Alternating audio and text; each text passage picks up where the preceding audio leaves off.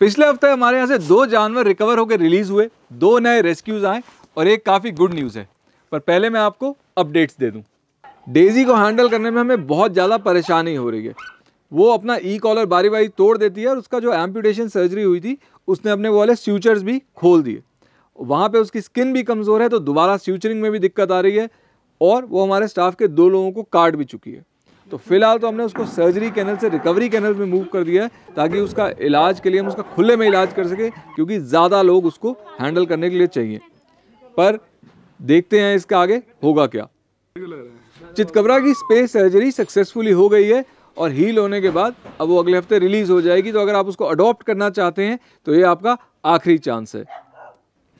वैसे तो गंधारी को पूरी तरह देख पा रही है, फिर भी हम एक हफ़्ता उसको आई ड्रॉप्स पे और रखेंगे और फिर उसको वापस रिलीज़ कर देंगे।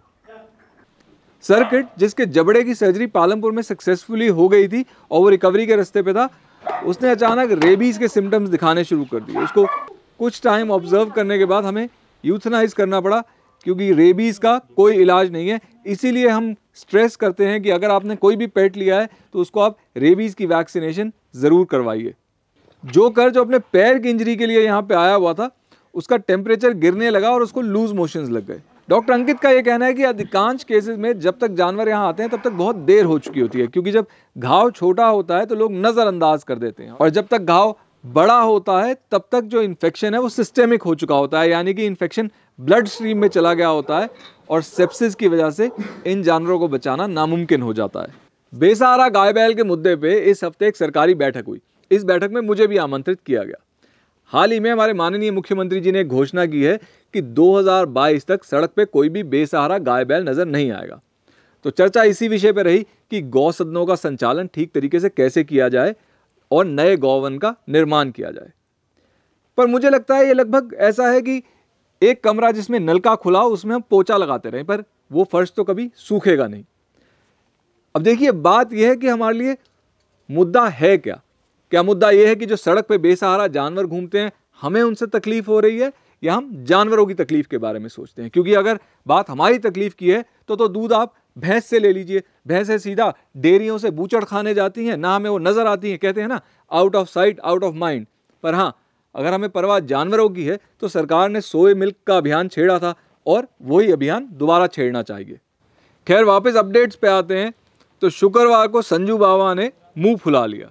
नहीं, वो हमसे नाराज़ नहीं है पर उसके मुँह पे या तो कोई कांटा चुभा है या उसको कोई कीड़ा काट गया है और इन्फेक्शन की वजह से उसको स्वेलिंग आ गई है तो हमने उसको एंटीबायोटिक्स पे रखा है।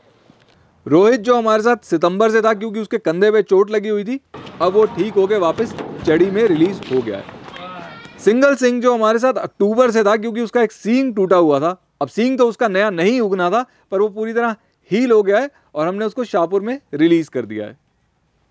रैत में एक और गाय है जिसके कंधे पे चोट लगी हुई थी। क्योंकि हमारे पास जगह नहीं थी तो हम इसका ट्रीट ऑन स्ट्रीट कर रहे थे। पर वो हमें कभी मिलती थी और कभी नहीं। शनिवार को अशोक कुमार जी ने उसके बारे में हमें दोबारा कॉल किया। क्योंकि अब हमने दो बैल रिलीज़ किए थे, हमारे पास जगह बन गई थी और हम उसको यहीं पर इलाज के लिए ले आए हैं। उसका नाम हमने कर्मा रखा है। फिर शाहपुर की ज्योति जी को रानी ताल में एक पपी मिला। वो उसको अपने साथ यहाँ ले आई। इस पपी को स्वेलिंग हो रखी है। हमने इसको एग्जामिन करने के बाद पालमपुर भेजा। वहाँ पता लगा कि इसको हरनिया है और वहाँ पे इसकी सर्जरी हो गई है। हमने इसका नाम छुई मुई रखा है। ढड़म, जो हमारा बगल वाला गाँव है, वहाँ से रॉकी नाम का एक कुत्ता घर से भाग गया।